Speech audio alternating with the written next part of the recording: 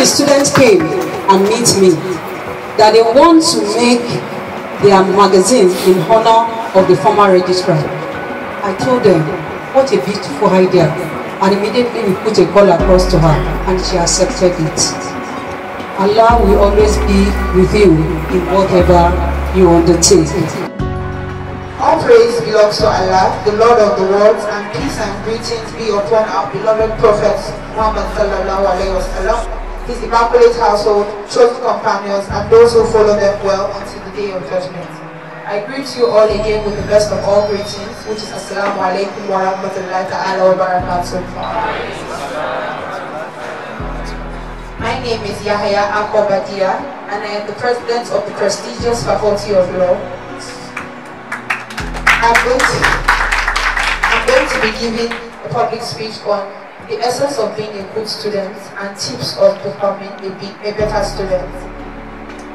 Being a good student takes effort, but it's definitely worth it. The benefits of being a good student include better grades, a deeper understanding of the subject matter, the development of the critical thinking skills that will serve you all throughout your life. I'm sure every one of us here are all hardworking students and we are looking better to get better grades for the sake of our parents and our futures. May Allah continue to guide us aright, inshallah. Well, I thank you, Almighty Allah, and I thank you for the people from the Dean of the Faculty of Law and all the students for the awardees for my wife, Dr. Rasidat Oladimeji. Alhamdulillah, Alhamdulillah, Alhamdulillah, Rabbil Alameen.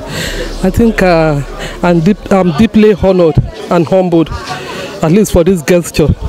Uh, in writing a magazine in my name, I think it's a great honor. And uh, I pray Allah will reward those that have planned this. Oh, a lot of plans have been lined up. Among it is going to be another grand finale to honor the founder with our journal, which is coming up in June.